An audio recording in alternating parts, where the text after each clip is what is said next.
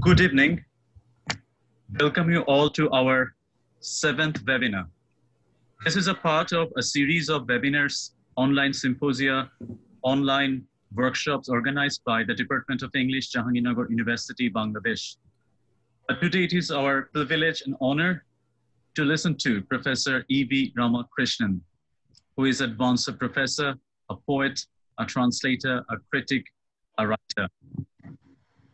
And today he will talk about translation with focus on translator subjectivity, can say kind of intimacy. So it is in the recent years, uh, an element of translation that has gained currency is translator subjectivity. The history of translation studies has witnessed several metaphors that explain the relation and interaction between a text and a translator. So they're the metaphors of uh, master disciple or master slave, sometimes metaphors of conflict couched in sexist language, conflict between fidelity and fertility, sometimes the metaphors of invasion and subordination, sometimes the reverse, cannibalization, sometimes masculine transduction or feminine transduction.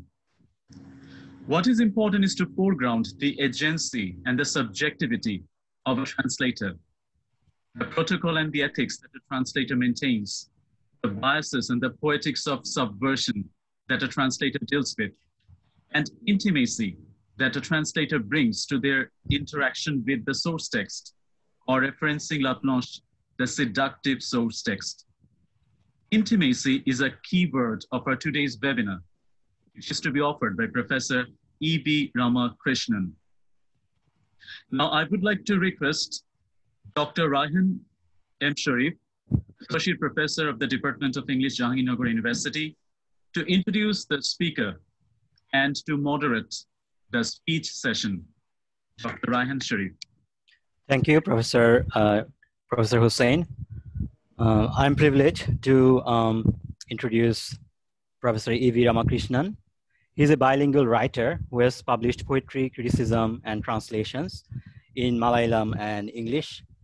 He was a faculty in the English department of Veer Narmad South Gujarat University, Surat, from 1985 to 2010, um, and at the Central University of Gujarat, Gandhinagar, as professor and dean and professor emeritus from May 2010 to December 2019. He has received um, Kerala Academy Award in 1995, Vaikari Award in 2018, and Odakkuzhal Award in 2018 for his books of literary criticism in Malayalam. He's a recipient of several fellowships, and including Fulbright Fellowship and Shastri Indian Canadian Fellowship. He has been visiting professor to many foreign and Indian universities. Among his books in Malayalam are um, Akshar, Akshar, uh, Akshar, Akshar, sorry, uh, Aksharu, Aksharabum, sorry, yes, Aksharabum Adhunikatayum, published in 1994. Um, Deshya, Gadag, uh, Deshya, Dagarum, Shaitabum, published in 2000. Um, Ainu Vamle, Ainu Vamle Arkan Pedi, published in 2008. And Malayar novel in uh, Malayan Loven Inde Desha Kalangal, published in 2017. His notable critical books in English include Making It New, Modernism in Malayalam, Marathi, and Hindi Poetry in 1995, Locating Indian Literature, Texts, Traditions, Translations, published in 2011, and Indigenous Imaginaries, Literature, Modernity, Religion. He has four poetry volumes in English, the most recent one being Tips for Living in an Expanding Universe. So this is his brief intro, uh, brief intro to EV, Professor E.V. Ramakrishnan. So um, I would like to invite Professor Ramakrishnan to um, start um, his talk. And, um, and, and requesting audience, if you have any questions, uh, you can place them in the chat box. Uh, at the end of the session, we'll try to collect them uh, and share with our speaker. And if you want, you can uh, verbally share if you like can do that as well so thank you thank you for you know showing up for this session so um, let's start professor ev Ramakrishnan. Thank you. I hope uh, you can hear me. Uh, yes, we can. Yes. Yeah. yes. I feel greatly honored to be part of this webinar series being organized by the Department of English of Jahangirnagar University. Professor Dr. Leizu Nasreen, uh, Chair, Department of English, Dr. Raihan Sharif, faculty member in the Department of English, Professor Mashrur Shahid Hossain, uh, the convener of the webinar series and a close friend of uh, many of us in CLI, members of the faculty, students of the department, and colleagues and friends who are part of this uh, program. Any discussion on the literatures of Indian subcontinent would invariably touch upon the question of translation sooner or later. We live in a multilingual zone of translation, which have been variously called uh, Vivartana, Bhashanda, Paribhasha, Anuvad or Unubada, Anukriti, Tarjuma, Bhashya, Tika, and so on. It's not my purpose, uh, objective in this presentation in, uh, to get into the contested issues of fidelity or freedom, literal versus literary, domesticating versus foreignizing, etc. Professor Mashrur did mention the large number of uh, uh, binaries which uh, confront us the moment we address the question of translation. Uh, the larger context of uh, my presentation is uh, the need for developing translation studies in the subcontinent as a very important discipline. Uh, because translation is an essential interdisciplinary uh, area of uh, uh, scholarly engagement, not only in comparative literature, but culture studies, feminist studies, theater studies, film studies, and uh, many allied uh, disciplines, it's important that we pay more attention to the emergent discipline of translation studies. Another context which I have in mind is as a, a student of Malayalam literature, my mother tongue, I feel the uh, volume of translations between Malayalam and English. This must be true of uh, many major languages in India, including Bengali uh, from Bangladesh uh, as well. Uh, the volume of translation has increased manifold in the last uh, two to three decades, and mostly into English. translations between Indian languages or between uh, languages uh, in the neighboring kind of uh, uh, subcontinental language, they are still not that frequent. And given this situation, we need to examine what exactly are these translations doing. For instance, uh, in Malayalam, I can very well see um, in the last uh, one decade, uh, many translations have won very important uh, uh awards and prizes. For example, uh, JCB Fiction Prize has been won by two major Malayali novelists. Crossword Award has been won by two major Malayali novelists. All these are into English are there translations which fulfill a certain cultural kind of uh, dynamics uh, in favor of the uh, what you call the source language? Because one of the major problems when you translate into uh, English is it, it actually uh, has a hegemonic presence in uh, countries like India.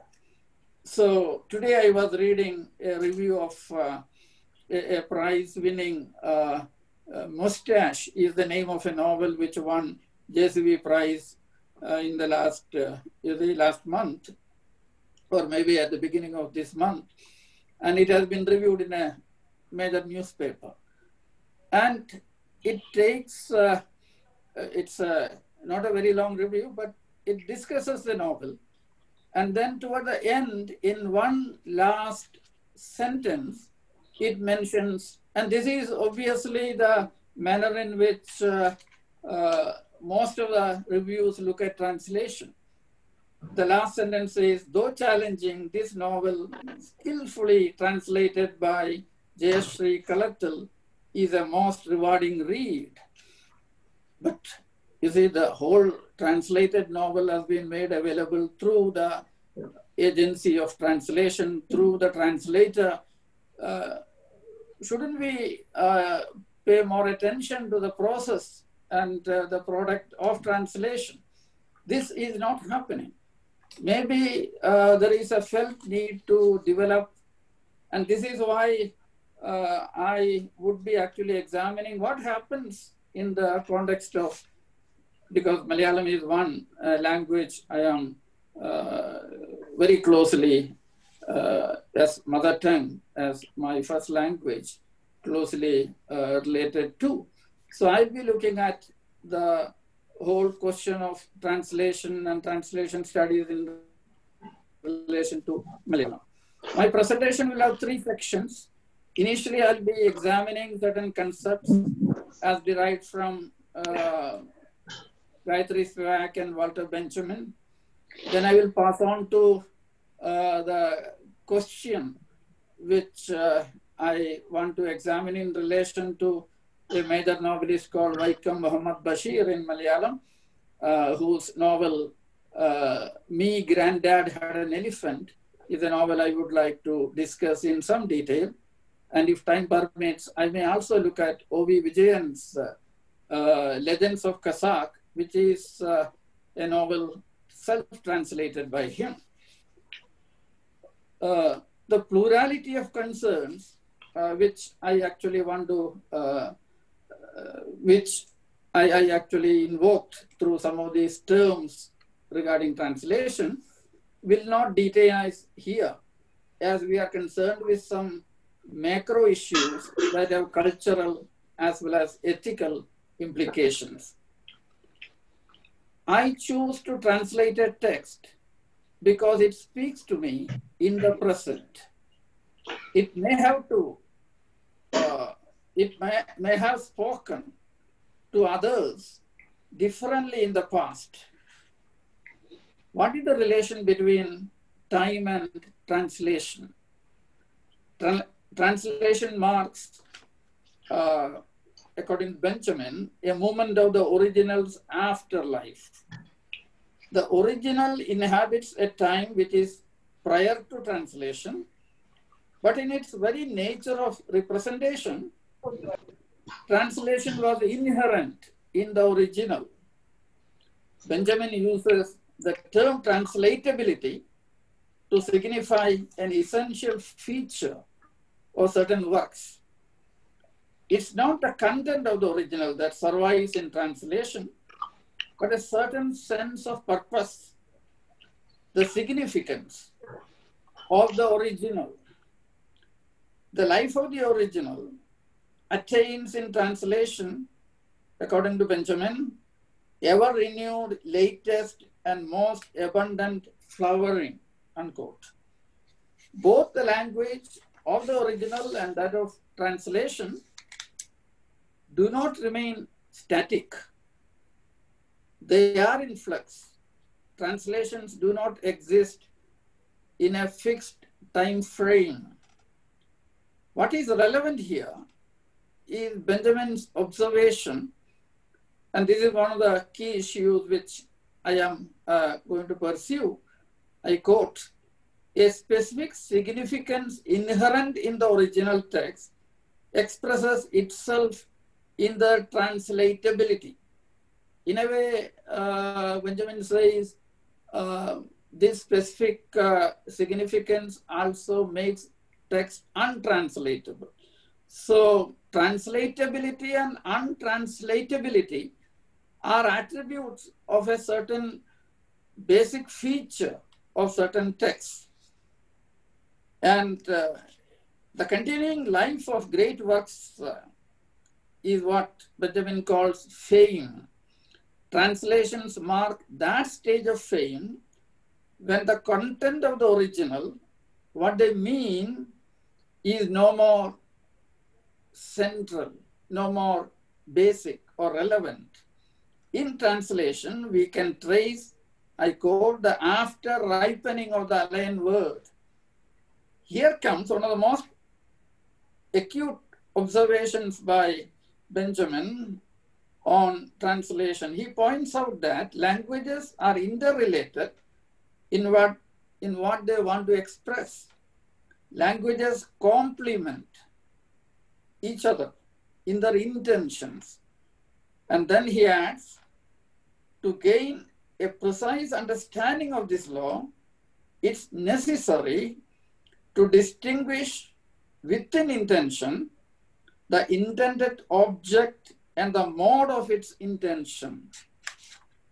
It's very important to actually understand the difference between the intended object and the mode of its intention. Uh, let me actually clarify this with an example.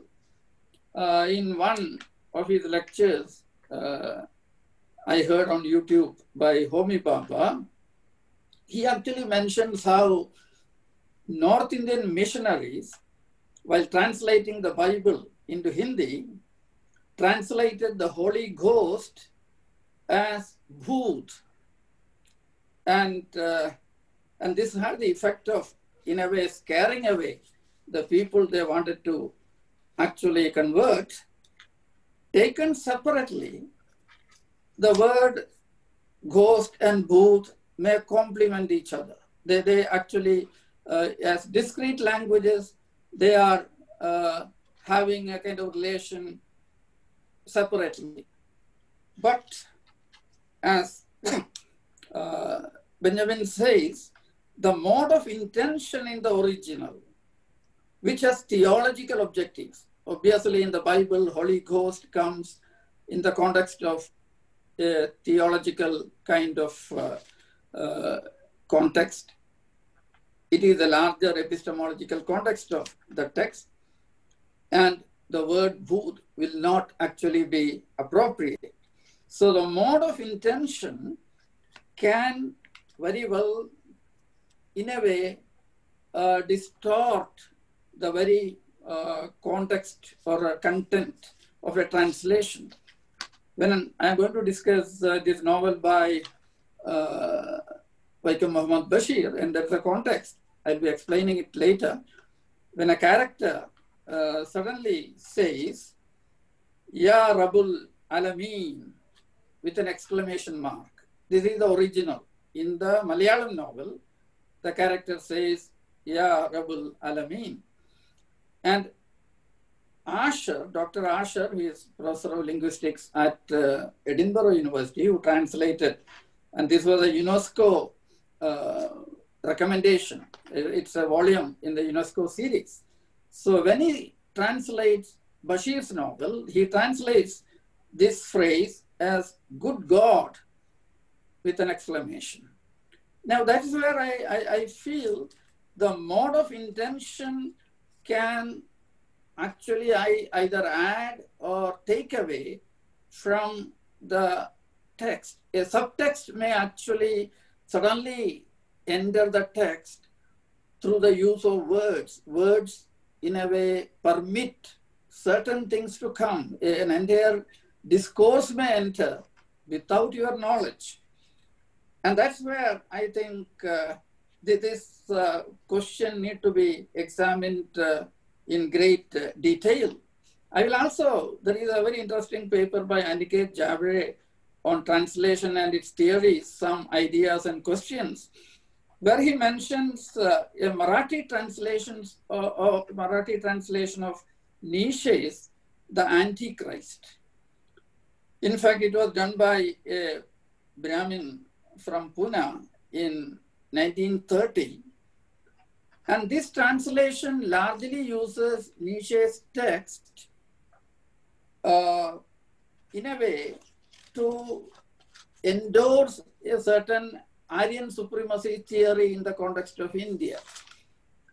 And this, uh, in fact, uh, in the introduction, uh, Rajwade actually says, A. Rajwade, he, says, uh, Nietzsche is a Mahamuni of Brahman Vritti. And Jaaware comments, there cannot be much doubt that what we have here is the Marathi appropriation of the Nazi Nietzsche. Nietzsche's condemnation of Christianity comes handy, as does the rhetoric of Chandal mentality. Look at the mode of intention operative in a translation. I'm giving these examples mainly to, to uh, bring home the idea that the larger uh, subtext will come into play only when the mode of intention in the translation becomes uh, aware of the subliminal voices within the text. How a, a certain, uh, if you are actually using Nietzsche to address an Indian audience, to endorse a certain uh, ideological view of Aryan supremacy, it has consequences. So the mode of, this is something which uh, Nietzsche's original text, Nietzsche of course was writing as a versive text, but that was not, uh, the mode of intention was extremely different. And this is where uh, uh, the, the distinction between the intended object and the mode of intention of this object has to be kept in mind in discussion, evaluation, examination of translated text. And what Benjamin says is also a code in Gayatri Spivak's essay, The Politics of Translation. And she shows how the rhetorical nature of language, she uses the three part right kind of structure, rhetoric, logic, and silence. A, a language has a rhetoricity, a certain larger rhetorical feature, which decides the nature of meaning. Of course, there is the logic. Now, I can very well say today uh, was rather cold. Now, definitely the meaning must be very clear. You can translate it. But in the larger context of the fictional mode you are actually translating, it can, maybe somebody who doesn't know English is using this sentence just to impress you that he or she knows English. Or maybe it's a code to mean something else. The mode of intention of the original can vary. In Gayatri Spivak says, the rhetoricity can disrupt its logical systematicity.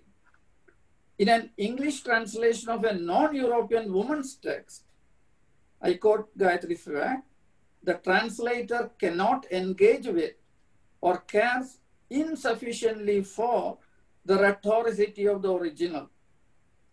When Stanadayini is translated as the wet nurse, the politics of translation neutralizes the author's irony in constructing an uncanny word. And Spivak comments, the theme of treating the breast as an organ of labor power as commodity and the breast as metonymic part object standing in for other as object is lost even before you enter the story when you use the word the wet nurse. She demonstrates how rhetoricity disrupts the social logic of meaning, uh, meaning creation with reference to the translation from a reputed 18th century singer poet of Bengal, uh, namely Rama Prasad. Uh, I will not go into, she herself translates, uh, in fact, uh, this, and uh, then she actually compares. And one translation she uses is uh, the one done by a disciple of Vivekananda, uh, whose uh, stilted kind of discourse doesn't actually allow the, the band, you see, the bhakta as a kind of a devotee uh, talking to goddess in a tone of banter, that actually is completely lost. So she does a translation to demonstrate how it's much more uh, colloquial. And, uh, and this is uh, the, the, and that's where she actually says uh, uh, some of the most intimate aspects of a language may remain unstated. Languages have a certain silence built into them. And in the act of reading, one may need to weave this silence into the, I quote, the details of personal life, the history of language, the history of the author's uh, movement, the history of the language in and as translation, etc., to listen to the subliminal voices, to the subtext that define the rhetoricity of the textual fabric. And uh, gives a translation of Ram Prasad's poem, uh, her own translation, again the version made by the disciple of Vivekananda, which she says is uh, the opaque exhibit providing evidence of the aligned fact of narcissism. And this is, uh, you see, very often translations from Indian languages into English are praised for their fluency. And the more fluent a translation is, uh, the more invisible the translator becomes. Uh, Lawrence Venuti has a book called The Invisibility of the Translator. And uh, that's where uh, Gayatri says there is something called translatese, a, a kind of idiom which uh, is actually in currency that makes the translation appear as the, the native kind of uh, uh, writing. And she says, in such translation, a woman in Palestine begin to resemble a man in Taiwan. So it is in this context, she says, translation is the most intimate act of reading. I surrender to the text when I translate. So intimate reading is not only a, a kind of close uh, intimacy with the text, but a larger preparation, scholastic and uh, what you call erudite kind of preparation, which require, which demand a, a certain involvement in the formation of the text itself. The text formation itself doesn't happen in the text, it precedes it. A whole lot of voices which enter the text come from the social, political, cultural, and many other uh, contexts, many other semiotic kind of structures. And here I would also like to um, quote, there is Kwame Anthony Appiah, who, who uh, put forward a theory of thick translation. And uh, Appiah very aptly says, I quote, uh, you see, translation that aims to be of use in literary teaching, and here it seems to uh, me that such academic translation, translation that seeks with its annotations and its accompanying glosses to locate the text in rich cultural and linguistic context is eminently worth doing. There is a felt need to actually give a large, you see, I'm not saying uh, translator has to be a great scholar, but there is uh, many of the translations from, uh, I have in mind many of these recent translations from Malayalam into English.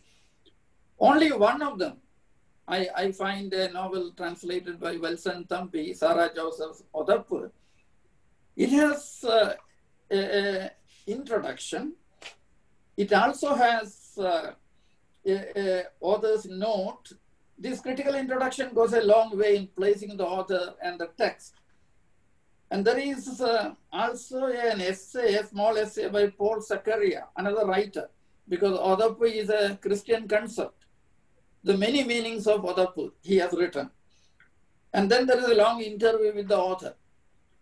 See, these, these apparatus, which are extra literary, which may not, you see, they need to be assembled to, to actually uh, claim or recover the subtext, the voices, which may not uh, really, uh, you see, which may not, uh, uh, you see, otherwise they may get suppressed in the act of translation into a hegemonic language. Translation must lovingly and in detail incorporate the original's way of meaning so that translation as a fragment complements the original. There is always something fragmentary, and perhaps some of you know that famous uh, comparison uh, Benjamin made. You see, you imagine a vessel, uh, maybe like a flower vase, it is broken, you are joining. And this is where the cultural translation, in fact, when you join, when uh, the translation complements the original, a third, you need to use Bhabha's kind of analogy, a kind of third space, a third dimension opens up. And this is a dialogic site where the asymmetrical power relations of the two languages uh, negotiate meaning as an intercultural process. Translation never makes a complete and final meaning available. It's a, a translation can always be overtaken by another translation. Anandamath has been translated seven or eight times into English. It has sometimes uh, been translated as a majoritarian text. Sometimes it has actually uh, given more importance, more balanced kind of uh, you see, uh, importance. It has many, strands. You may take one and suppress the other. And um, I have, uh, I don't know how many of you have seen this translation, Anandamath or the Sacred Brotherhood by uh, is a Julius Lipner. I mentioned this because the text of the novel is 110 pages, but the introduction is about 130 pages. And this is an attempt to, and then there are references and many other, you see, apart from introduction. I'm not saying all translation should uh, aspire to this level of level of uh, thoroughness, but in Indian kind of context, where invisibility of languages, I'll give an example between Bengali and Malayalam. I have certain uh, facts. Till 1975, there have been about 150 Bengali novels, etc., translated into Malayalam. And the number of Malayalam texts translated into Bengali is less than 10. So the proportion will more or less be the same even today.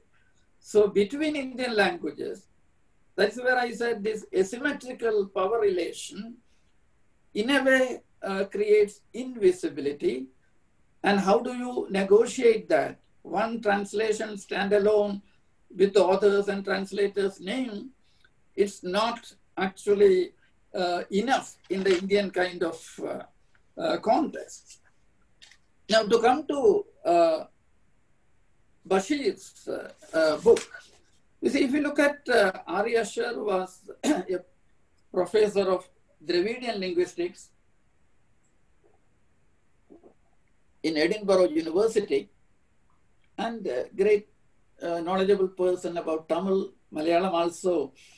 The original novel in Malayalam appeared in 1951. And this translation by R.E. Asher appeared in 1980.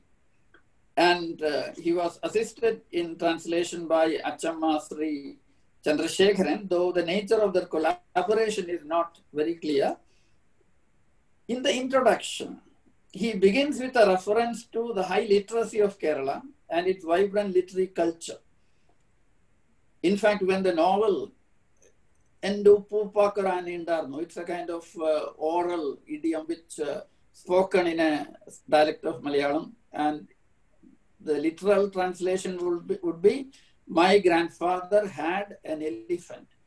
But to, to make it sound like the original, he says, me granddad had an elephant. So he's trying to make the title itself sound like an oral. Now, in the introduction, he makes certain kind of observations. One is contemporary writers in Kerala have a certain tendency to set their novels and short stories in the author's community. This is not substantiated. This is an observation which I don't think will be valid with reference to most of the authors. Though communities produce writers, uh, he goes on to say how Bashir in, is representative of this tendency and adds that his stories and novels with Muslim settings have the most universal appeal and uh, uh, already this novel was in its 10th edition. He had sold more than 1 lakh copies. So what Benjamin says fame, it was already part of the text when he decided to translate it.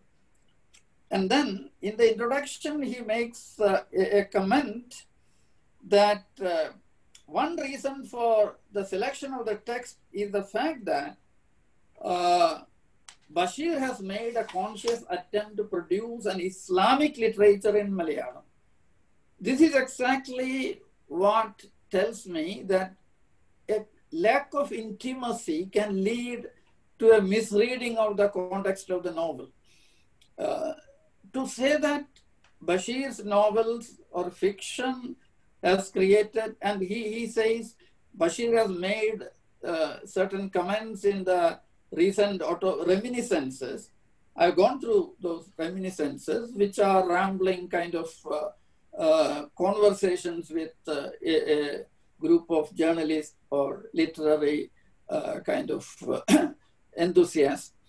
And they, they do not carry the stamp or the signature of Bashir, the creative writer. And uh, we, uh, Bashir does speak of religion, among other things. But the Bashir who comes through from the book uh, is the voice of a complex, creative artist whose concern for the human race plants, animals transcend all such sectarian beliefs. In fact, uh, we will read, uh, I will actually look at some of the, uh, you see, and here I would also mention two uh, or three points. One is Muslim, uh, Muslims in Malabar or Muslims in Kerala were not part of the mainstream literary tradition till the middle of uh, the 20th century. They used Arabic Malayalam, that is Malayalam written in Arabic language, and this kept them out of the mainstream. And Bashir was aware of this larger uh, problematic where uh, we, we uh, do not see the Muslim way of life, Muslim norms of understanding the world. It, it's uh, uh, a, a, certain kind of invisibility. I will cite an incident. Bashir's first novel, Balyakala Sakhi, Childhood Friend, was being printed in Ernakulam press. So one day Bashir went there to see the proof. And to his horror, he found that every conversation he had written in this novel in Malayalam original uh, was corrected by the compositor or the proofreader, whoever was the in the press. And Bashir, he very humorously uh, described the situation. He says, I called all of them into the courtyard. And those days he used to be a, um, says, a revolutionary kind of, he participated in a lot of rebellion and that is quit India movement, many, even underground, he was a follower of Bhagat Singh, then he became all these. So he said, I used to carry a dagger. And I took the dagger in one hand and told them, if you ever even correct, change one letter in my manuscript, that be the end of you say your uh, job or not even life. And he burns the entire printed copies. He says lots of. Now this is a very important pointer to the way in which Muslim uh, voice or Muslim uh, what we call discourse was seen by the mainstream. They were not only invisible, they were not uh, admitted into the, the uh, and that's where now very briefly this novel me granddad an elephant you see you have one family of uh, very rural muslims and the heroine the main character uh, Kunjupathumma the little girl.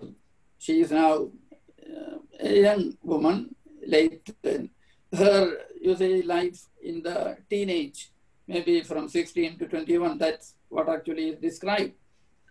Her father was a uh, local uh, mosque committee chairman and uh, uh Vatanadima. Her mother uh, came from a very aristocratic family. She keeps repeating the word, my father had an elephant. So she will keep telling you, your grandfather had an elephant. Elephant again in Kerala kind of uh, cultural uh, vocabulary carries the uh, semiotic um, the content of aristocratic uh, lineage and uh, a, a, certain uh, kind of display of wealth and grandeur. All these are used by, that's why I say the novel addresses a larger kind of audience in a way is addressing the emergent Kerala. Kerala is still not a reality. 1951, he's writing it 1950. And the literacy of Kerala at that point is, I'm told, 47%. So Kerala is still largely literate and Muslim community may have liter literacy even less than the average. And uh, Bashir was actually writing on a slate which was already written by the majoritarian writer or from other communities, and the voice of the Muslim was still to be heard. So he is acutely aware of the symbolic power of language and the cultural capital produced by literary works. Bashir uh, has a kind of critical relation with the mainstream uh, Malayalam uh, literary tradition. And another thing is uh, at the same time, he was uh, he had enough inwardness to this uh, Muslim marginal culture, subculture, which gives the novel a very clear kind of uh, authenticity. Now, looking at the original, and uh, I also want to mention, you see, if uh, this novel in a way enacts the tensions or conflicts or contradictions involved in the linguistic organization of a novelistic narrative. In fact, uh, if we use the phrase from Benjamin, what's bent and the way of meaning is central to Bashir. The rhetoricity of his language is performative. When I say well, the novel performs, it in a way performs this uh, rupture between, uh, you see, the language and experience, the standard language and experience. And this is where the subtext become extremely important. The dialect, the Muslim dialect of Malayalam becomes central. And a third point I want to put before I look at some of the uh, original and translation is Bashir is not talking about a monolithic Muslim identity. Uh, in a way, uh, he is well aware that Muslim community in Kerala functions more like a community. It's not a religious community. It may be more like the caste structure because we know they were largely traders in Malabar and uh, Malabar had no trading caste. Just as southern Kerala, the Christians were traders and there were no other trading castes. So you do find Muslims in northern Kerala or even middle Kerala have functioned largely as in the spectrum of Kerala's social structure, more as a community with its own folklore, mythology, and a whole lot of, but then this inwardness was not understood by large number of uh, Malayalis. So there is a complex poetic at the core of this uh, uh, folkloric kind of an Islam, which uh, is represented in the uh, novel. And I, I will actually, you see, uh, and this also, uh, this requires a kind of intimacy. This is where intimate reading becomes not reading the text alone. You have to need, uh, you have to, now look at the very opening first paragraph of the novel, Me, Granddad, and an Elephant. In the original, there were 12 sentences. And in the translation, uh, R.E. Asher has left out seven sentences. Seven sentences, only five sentences in the translation. I have roughly translated the original in my own language. Before that, I will read what R.E. Asher has done, his translation. It is as if it happened thousands of years ago. For childhood is a long way off, is it not? Since then, many things happened. Kunjupathumma can remember it all only as something pleasant. Laughter is much better than weeping. This is the opening paragraph in the translation. Now look at a literal translation of the original, done not with great, uh, it, uh, she can remember all that only as something farcical, raw life. There is this Malayalam sentence, Pacha Jividam, raw life. It's always an inexplicable mystery. Nothing is under the control of anyone. What can be done? One feels like weeping and also laughing with an open heart. Laughter is always better than weeping. See, there is a larger vision, a, signature of uh, Bashir in invoking the inexplicable mystery of life. Actually, Kunjupathumma's uh, life changes when father loses a legal case, he loses all his property, they become, they are reduced to living in a uh, rented house with bare minimum. And that's when they meet another family, another Muslim family, and they are middle class uh, Muslims who are highly educated. And that family, uh, the father, Sainal Abidin, is a professor, and his son, Nisar Ahmad, is a young man, and Aisha is the sister so look at two families. Earlier I said this is the rural uh, Muslim family deeply uh, implicated in the Orthodox tradition, believing in, and this is where the first part of the novel, largely, it invokes this uh, dynamics and uh, this uh, uh, semiotics of this folkloric kind of an Islam which in a way uh, works through the everyday life. It is a quotidian uh, which uh, they, they inhabit. You see, there are several references. Uh, for example, uh, there is a reference to, uh, I, I, am omitting many parts. I have about five minutes, so I will. Uh, so, for example, the evening sermon in the uh, mosque was. So, Kunjupathumma's knowledge of Islam is largely, it comes from many of these, uh, you know, the kind of. but then, you see, there are several references to the everyday world of this Muslim community, uh, and there are footnotes. There are footnotes which uh, uh, he omits totally in translation. Many things which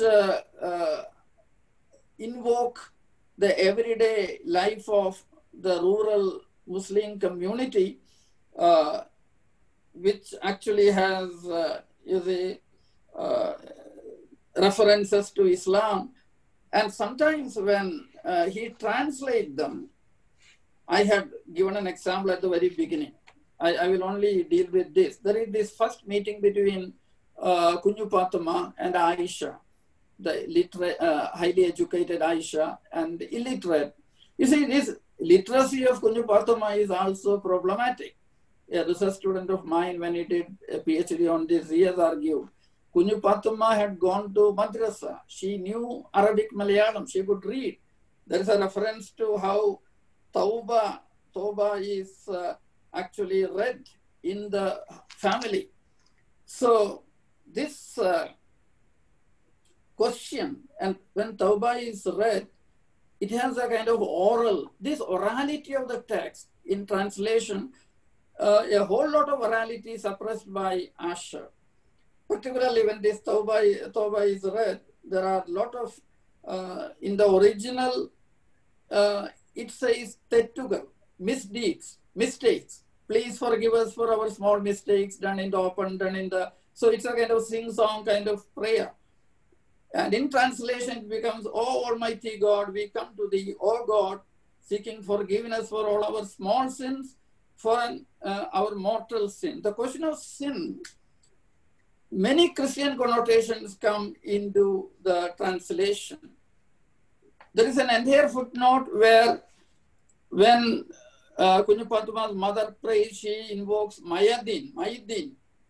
And in, transla- in a footnote, Bashir says Mayadin is Mohiuddin Abdul Khader Jilani, is a Sufi, a holy man, died centuries ago, was buried in Baghdad or so, there are many like him.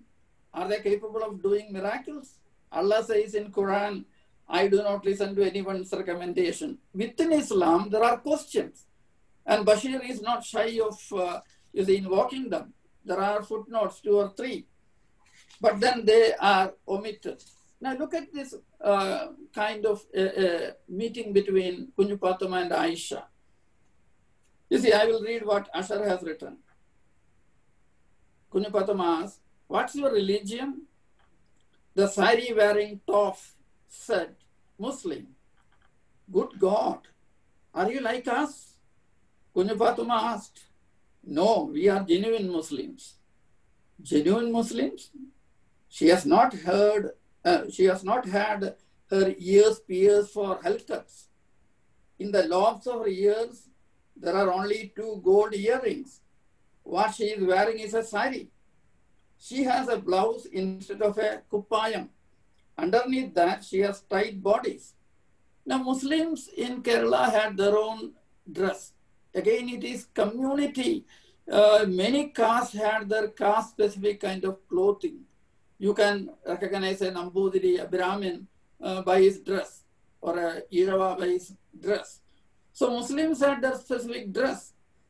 so in a way, Kunjupathumma is right in saying there is this uh, absent. Now, what is the problem with this translation? I have a literal translation. You see, Kunjupathumma asks Aisha, I am translating it literally. You what caste? You see, she is not talking about religion. She is saying, എന്താണ് നിങ്ങളുടെ she uses the word jati, not religion. Asher makes it religion. And uh, the sari wearing upstart said Muslim. You see, look at the word used by Asher. Uh, sari wearing toff, T-O-F-F. It's a British slang. A toff is a derogatory stereotype for someone with an aristocratic background. You see, it has various associations. The only thing here is power gari. That is what uh, in the original, a kind of show off, or this word uh, uses later. So it's an upstart kind of show off. Off is not justified. And when Aisha says they are Muslims, then Kunjupathumma says, Ya Rabbul Alameen. Kunjupathumma said, like us? Then Aisha replies, no, we are real Islamis. You see, Muslim is not the only word used. We are also Islamis, Islamingal, real Islamis. Ears are, then Kunjupathumma thinks, ears are not pierced, no alikat, only gold flowers on earlobes, dressed in sari and blouse. Below that, a tight uh, fitting small one. You see, this question of cloth, appearance, and uh, uh, you see, a whole lot of things. If Asher had used Ya Rabbul Alameen, I am sure a certain intimacy with the original could have been established. My larger argument here is there is a whole lot of uh, orality in the text, which in a way is important because uh, it is this orality which created the larger image of the marginalized Muslim community as uh, maybe less educated, but they have an entire, uh, you see, uh, what you call cultural capital of their own. And this cultural capital is now losing its significance. And when Aisha says her name is Aisha, and then Kunjupathumma says this is uh, Muhammad Nabi's uh, Veeder's name. In Hindi it will be Garwali. He doesn't use the word wife. She doesn't use the word wife. So there are uh, deeply problematic kind of uh, uh, translation, which uh, you see, and then follows a very important part of the novel where Aisha is correcting her every word, how to pronounce this. In a way, she is imposing on her standard Malayalam. And she is in a way converting. This novel is largely about this uh, process of conversion into the standard kind of an identity. Uh, and the, one more small thing, and I will stop. You see, of course, by the, now Kunjupathumma has had an emotional kind of attachment with this Nisar Ahmad. He reciprocates it. And the moment she knows her marriage is going to be decided by her family, she faints, she is ill now. And then uh, they, they bring a Muslim, uh, maybe priest, who tries to exorcise. Uh, but then finally, their family, Nisar Ahmad's family comes in, they try to save her. And there is a scene where uh, Nisar Ahmad's father, Sainuddin, he comes into the house, the room of Kunjupathumma, it's all, windows are closed, and he, he I am quoting from the original uh, no, translation, light and air must get into this room, he said. Why have you closed this window? He opened the window. Light and air came in. How bright the light is. This is a a kind of context in Malayalam, how bright the light does not do justification, justice to the original Velichatinandaru Velicham. Throughout, uh, many critics, M.N. Karassery is a major critic who has written on Bashir, he says lifelong association of the idea of light. It has uh, echoes in Sufi poetry, Sufi literature, Bashir was very well read in Sufi literature, and there is uh, many uh, references to light in the novel itself. And uh, you see, even uh, when, when he talks about the myth of uh, the origin of earth, etc., And th- there are many references to light. I will just give one example. Uh, there, is, there is one very powerful sentence. Uh, he, he actually, uh, uh this is written towards, uh, I will quote the translation. The stars looked like glittering dots caught in a huge black spider's web. The original is much more powerful. I will translate it like this. Are the millions of stars, dots of light, ensnared in a colossal black spider web? You see, so light is a major enlightenment. The whole idea of moving into the standard kind of a, a culture. And uh, the, there are references to this question of uh, becoming, I will end by saying what uh, Asher fails to notice is the subtext, which are deeply implicated in Bashir's own critical uh, relation with Malayalam's mainstream uh, literary tradition. And uh, he is also, uh, in a way, he does not align with the social realist novel. Bashir is not conforming to the progressive literature's proclaimed objective of promoting social transformation. In fact, uh, the, the novel is using orality in a very, uh, it deploys orality as a, a site of cultural kind of negotiation. And uh, this negotiation is the site of meaning. The semantic tension in the novel is in the manner in which the margins negotiate the center. And Bashir transforms it into a contest between two worldviews, two cosmologies. Does he believe Kunjupathumma should remain an illiterate and a rural kind of? No. He wants change, he wants transformation, but he wants the mainstream also to become sensitive to the margins. So the novel is saying something larger. There is a larger dialogic space, a third space, as I said. And this is available only if we listen to the intention, the uh, manner in which the uh, intention uh, is realized in the sub transformation of the subtext. I'll stop here. I've already taken a few more minutes than allotted to me. Uh, if there are questions, I will clarify and take it forward. Uh, and I had uh, one or two more novels, but let me stop here. This is adequate to make the larger translation studies in our subcontinent now need to, uh, translation as a process is fine. We, we need uh, a stage where every translation should be analyzed, interpreted, deeply uh, studied, threadbare, uh, not to find fault.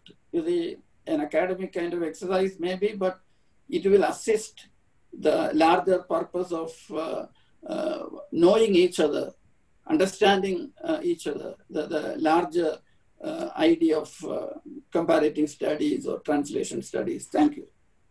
Thank you, Professor E.V. Ramakrishnan, for your excellent presentation. So I'd like to uh, request the audience, and I, I can see some you know questions. So um, in your presentation, you know, just to um, kind of wrap up of the entire talk, I'll try to do this. So you, you uh, Professor Ramakrishnan actually talked about the need for development of translation studies and also highlighted uh, kind of exchanges between Indian languages and other uh, subcontinental languages and, um, and also noted a disproportion in translation between Malayalam and and Bengali.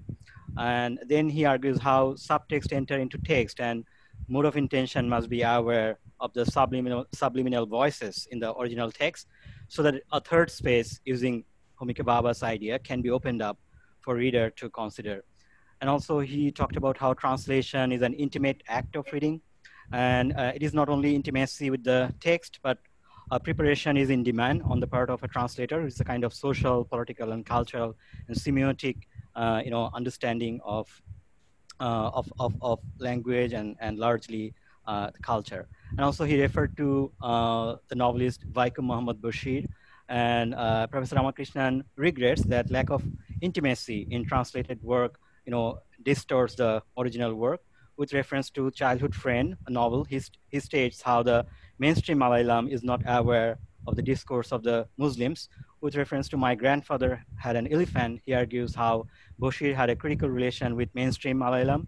Here's the performativity in Bashir's language, and which is the subtext, which a translate, translator must be aware of. In Vaikom Muhammad Bashir, uh, Professor Ramakrishnan also highlighted the larger vision of life, which must be considered in any transla translation project. And Professor Ramakrishnan also exemplifies how the oral tradition as a subtext may get, get ignored in translation. He also talked about how the discourse of a community, the aspects of caste, the cultural nuances, the religious nuances, largely the cultural capital, and sometimes philosophical vision of an author may get overlooked in translation. So with this, I think Mr. Ramakrishnan has, uh, you know, clearly, you know, uh, presented his thoughts and ideas. Now, I'd like to uh, check whether we received any questions. Uh, let me, and also Professor Ramakrishnan, you can also see the, you know, the questions. So let me check. If you can read out, it will be oh, helpful. Sure, sure. Let me, let me that open up. Mm. so. Meanwhile, I think we can open up the question if anyone want to ask. Okay, because raise your hand or just. Uh, um, I can see a question. Okay, can I read it? Um, yeah, please, please. So a translator who is translating one novel or any content which is written by the translator himself or herself. And on the other hand, um, another translator who is also translating the novel. So considering two different cases, okay? So uh, one novel translated by the novelist himself and another, uh, the same novel if translated by another person, then what will be the differences between these two translated texts, okay? And how translation is important where we know that it is not possible to convey the passion of the original text on the translated text. So is it possible to translate or, you know, the second part of the question is how important is translation uh, where we know that it is not possible to convey the passion of the original text uh, in the translated text. So Professor Ramakrishnan, your response. Yeah. Thank you for uh, a very good question. In fact, uh, very often we have a kind of uh, misconception that self-translations may be uh, is a ideal in the sense the author uh, who wrote the original has uh, a certain kind of inwardness or clue to what the text means. And we are not concerned with the meaning of the text. That's one of the things Benjamin also says. You say if uh, if uh, there are many as there will be as many uh, you say you can read Hamlet in thousands of ways. So intimate reading, I like. It's a translation is a kind of reception. So already when a, a certain kind of reception I actually wanted to mention O.V. Vijayan. O.V. Vijayan translated Legends of Khasak, that is the English translation of his original text. The original text was written in 1960s when he had lost faith in a certain political ideology following the Stalinist and other. And the novel reflected a certain quest for uh, a new kind of, uh, it, was a, a heartbreaking novel in Malayalam mainly because it was not ideologically, uh, you say, indoctrinated. It was a quest. It was an open kind of text. In 90, early 90, uh, Vijayan translated that into English. But by that time, in the 80s, Vijayan had become uh, a disciple of a guru and he had written Guru Sagaram. The, you see, already he, he, it was a different Vijayan who translated the original text. And you have a lot of rewriting. I would have actually discussed it in detail if there was time. Just to give one example, there is a discussion about in the village. It's about a rural village. There is a subculture. That is why I wanted to take it. People with uh, very uh, primitive kind of people with their own languages. There is a new school now, and they are discussing is the school uh, desirable? And they say there are to two opposite camps. Are they right? Both can be right. And then the people, somebody, nobody, no one is mentioned. It comes to a conclusion, truths are many. But in the translation, Vijayan writes, many small truths make a big truth. Now, this is ideologically totally in the opposite direction. Self-translation can be much more unreliable than the translation by, and that's why when you see translations by informed kind of, translation involves interpretation, hermeneutic kind of an engagement with uh, how text uh, are actually formed and uh, that process, meaning making pro uh, process, that may be undertaken by a critic from outside. And very often uh, self-translations do not actually have any uh, validity, any genuine uh, validity beyond the fact that uh, it is just one more translation. Now the second, uh, the question of passion, as we, we are saying, this is an attribute of the text. It's a kind of, uh, you see, discourses can have inflection. It's part of the silence of a text, the passion, what you say. And that's what part of the rhetoricity. To the extent it actually is available through the rhetoric features of language, a, a translator can address that uh, idea of passion. Look at the translation of Dostoevsky's uh, novels, uh, or Marquez novel. Uh, I, I do feel passion is an attribute which you cannot pinpoint. Your idea of passion may differ from my idea of uh, the uh, emotional kind of the state of being. Any other question? Oh, I you. hope uh, my answers uh, answer is adequate. Yes, thank you. Excellent. Um, uh, Mm. thank you. Uh, next, I'd like to invite uh, Hiren Patel. If you can hear me, you can ask your questions to Professor Ramakrishnan. Hello, sir. Good evening. It's me, Hiren Patel.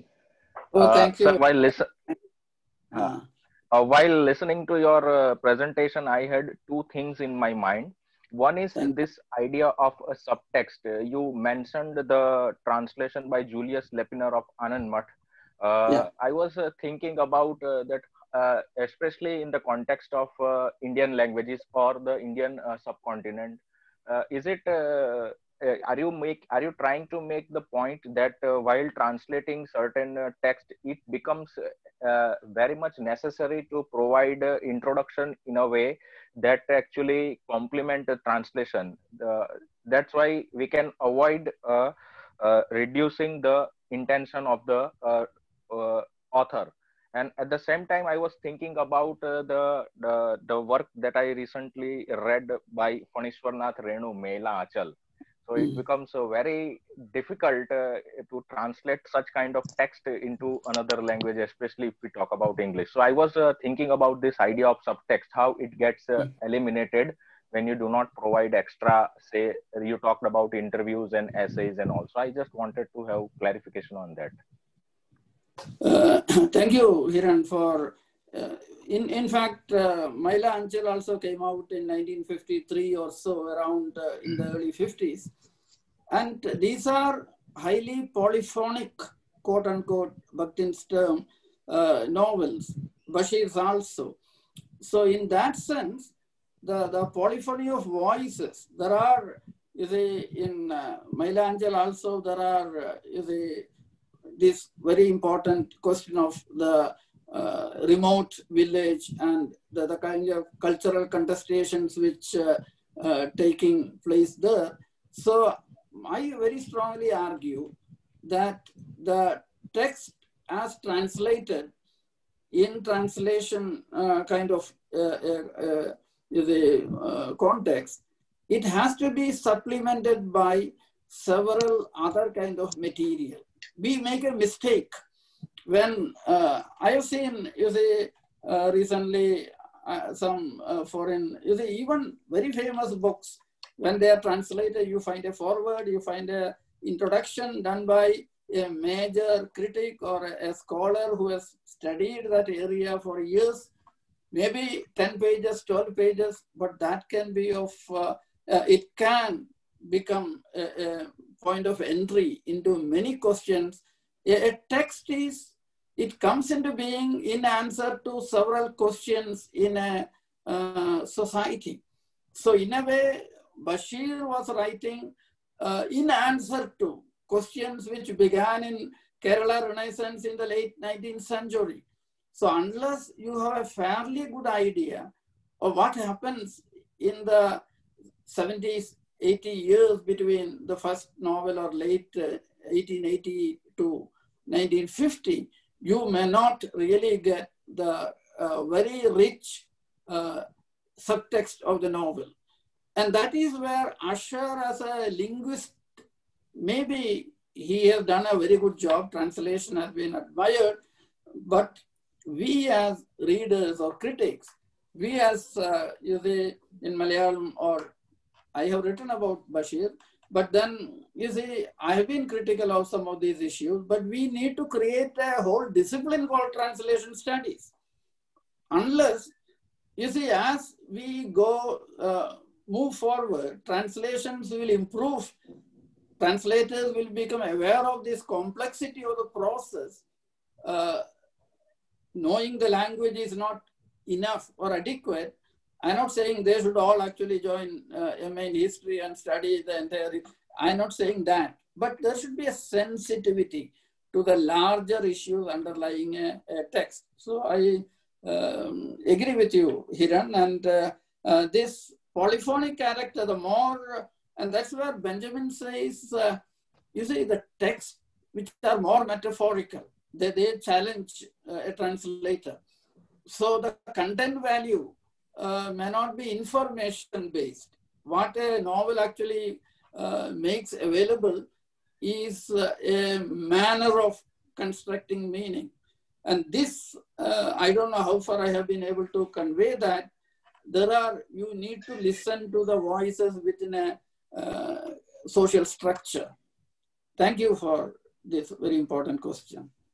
Thank you, Hiren Patel, thank for you, your sir. question. And thank you, Professor Ramakrishnan, for yes. answering the question. Now, I'd like thank to you. invite um, Pradeep Kumar Solanki. Uh, Pradeep Kumar Solanki, please um, ask your question. Unmute yourself first and then ask your question. Hello, hello, good evening, sir. Uh, good evening. Good evening, sir. Hello, yeah. sir. Great pleasure and privilege to hear you, sir. I'm Pradeep from Gujarat. Ah, Pradeep. Thank you, sir. Sir, yeah. yes, sir. Uh, sir, uh, I have translated uh, uh Tirad, Gujarati play into English under your uh, supervision and guidance yeah, as, as my MPhil dissertation. Yeah. Yes, sir. Thank you, sir. Thank you, sir. Sir, uh, I, I heard you today mm-hmm. and I felt so much you spoke on the cultural importance in translation because a translation, what is the importance of culture in translation? So, um, sir i have i have translated the play text and uh, even my this question is uh, also related with the play text because uh, recently i'm translating uh, two gujarati plays mm. by sitan Srushar into english oh. uh, under amit sir as my phd dissertation sir and mm. sir i i have read the plays very intimately and okay. sir I, I i felt that like how a translator can deal with the slang in the text. Yeah. Because, sir, uh, uh, reading, when reading for translation, mm. so much of standardization of language takes place. Yeah. Because yeah. Re- reading slang into standard language. Yeah. And uh, the process then directly proceeds to the translation. Mm. And uh, while carrying cultural equivalence from source mm. text to the target text, yeah this seems to be a bit a violation with that slang text, which which could be the charm of the text, sir, actually. And uh, the standardization, when it when it comes to standardization of language, sir. Mm-hmm. So how can a translator uh, uh, see that slang in the text, yeah. and how can it be carried forward in the translation, sir? Uh, here I have uh, I have only suggestion as a translator myself. I have faced this uh, you see, one is uh, the history of standardization itself, you, you should try to understand. And uh, does the, for example, Parsi Gujarati could be uh, much more challenging, you see, yes, than sir. the standard Gujarati. or maybe yes, the dialect of uh, Saurashtra or Kutch, or maybe yes, North Gujarat. You see, these are, you see, you cannot bring in uh, an entire slang may not be translatable, but you can bring in the flavor. You see, that's yes, where I mentioned, instead of saying, oh, good God, why not say, Ya Rabbul Alameen? You see, that is one way of bringing a certain tone, a certain uh, way of, it's a gesture, gesturing towards gesture. the mode of intention. So see, the mode of intention of the original text, you see, needs to be incorporated in your translation. And that mode, yes, to what extent? Is the novel fully written in slang? Then I'm sure nobody would even uh, think of translating it. Definitely, it yes, is sir. because there is standard language and also slang. So slang, what is the function slang is uh, actually, its characterization sometimes, but sometimes there may be a very important operative word which sums up the nature of that culture itself. You see, yes, that is where you, you, you see, a word may actually mean much, much, uh, you see, more for that community. Or maybe as a woman, that word means much more because uh, there is something in her, you see, childhood which actually, uh, you see, uh, is trapped in that entire, a word may trap an entire uh, past. So these are yes, things which you have to listen. The entire slang cannot be and need not be translated, but yes, there should be. You see, and uh, as I said, maybe if you can have uh, uh, either footnotes or endnotes or a very uh, exhaustive kind of uh, you see, look at uh, A.K. Ramanujan's uh, poetry of love and war. You yes, see, I.J. Samant says, I read uh, the entire poetry and felt very happy. And then yes, I read Ramanujan. And then he says, then he understood he had not understood the poetry. Only when he read Ramanujan's, uh, the how should you read poetry of uh, what he called uh, Old Tamil? You see, you need scholarship there. You need an entire apparatus of an entire semiotic system developed uh, by Sangam, the Sangam uh, period of Tamil uh, culture. So, no, one shouldn't be ashamed of displaying a level of uh, the scholarship and uh, a whole lot of uh, the material need to actually go into the as supplementary. I'm not saying uh, it, it, it should be uh, one there again uh, a good translator will know what should actually be the uh, ideal. The, so I am sure yes, uh, you you are, you have understood the argument I have put. Yes, sir. Yes, sir. Yes, sir. I do understand, sir. I do Thank understand. You. Thank you, sir. Yeah. Thank you. Yeah. Thank you. Sir. Welcome. Thanks to both of you. Uh, I think we're approaching the end and we can take uh, only one or two questions maybe. So first I'd like to invite uh, Alka Netrakar. Would you uh, ask your questions? Unmute yourself and ask your questions. Alka, if you're here, if you can hear me, it's your time.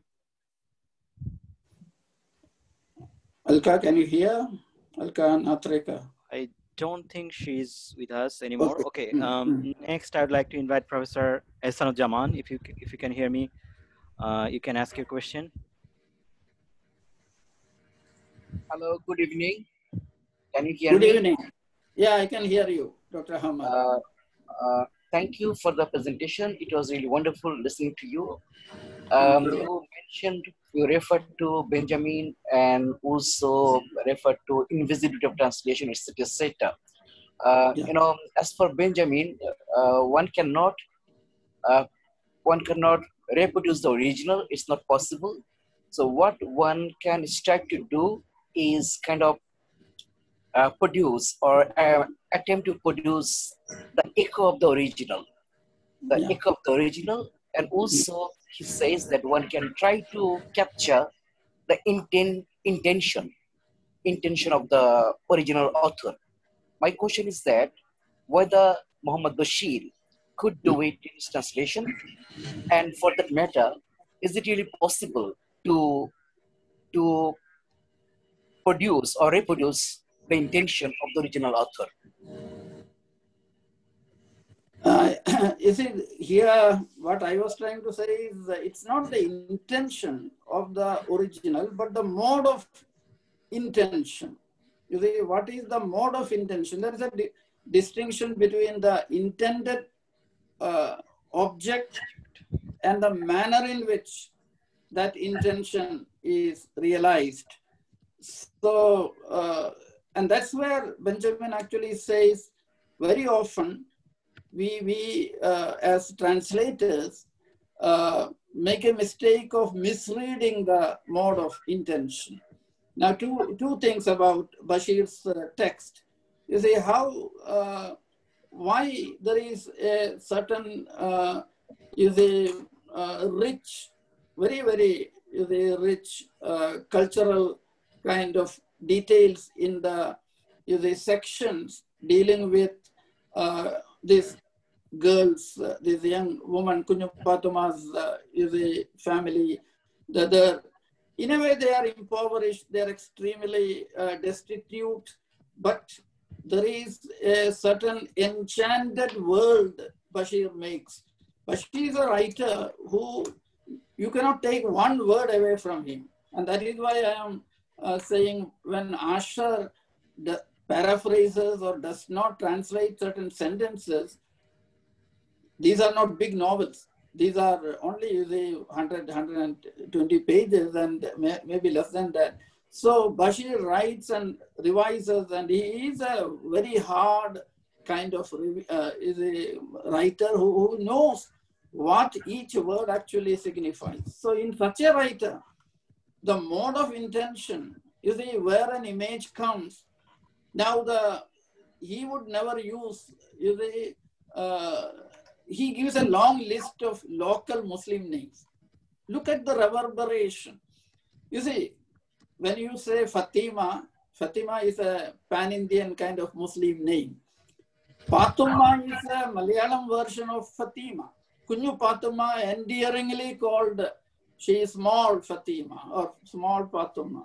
Look at, in the same, there, there is a, a number of names he quotes at one.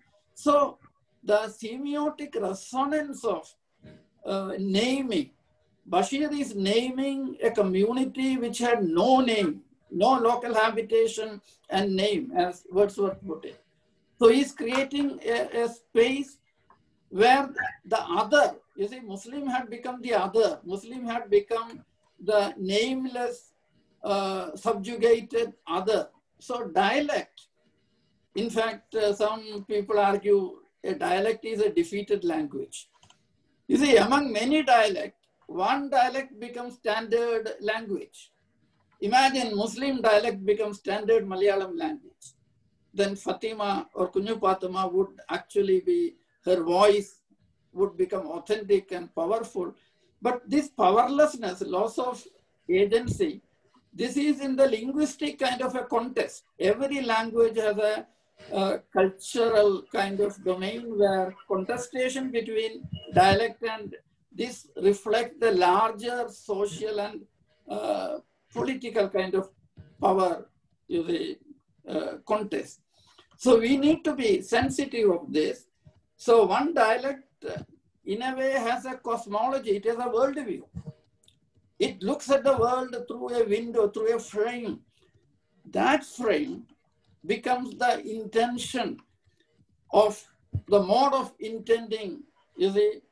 Uh, and that's why when we find descriptions of Kunjupathumma talking to uh, small birds, talking to a tree, talking to a leech which is sucking blood from her body, you see, for her, this, where does this in, uh, awareness comes? That the living world is partly, I, I would say Bashir is, it's part of mode of intention of Bashir. This is what enlightened modernity has stolen away from us. It has not only stolen the enchanted idea of the world, it has also taken us. It has created an anthropomorphic, human-centered world where everything has become the other. Power operates through the process of othering. So Bashir, as a, a visionary, I would say, as a, and that is where every word has to be listened to. In writers like uh, Bashir, whose philosophical sense of reality uh, is embodied in the choice of words. So uh, I understand the, the question. I don't know how far I have answered it. Hope uh, you, you agree with me. Thank you. Thank you. Um, so this was the last question actually for time restriction. We cannot take any more questions. Yeah, Sorry, I but uh, the you know the recorded video um, will be uploaded on YouTube channel on our YouTube channel. Uh, you should uh, probably Thank know you. that anyway. So with this, I'd like to end this session, and I'd like to invite once again Professor Mashrur Shahid Hussain um, for next next next of the actually time the rest of the time we have rest of the time we have. Yes, thank you. Thank you, Professor Mashrur. Thank you, everyone. Yeah, thank you. Uh, so this takes us to the end of our session.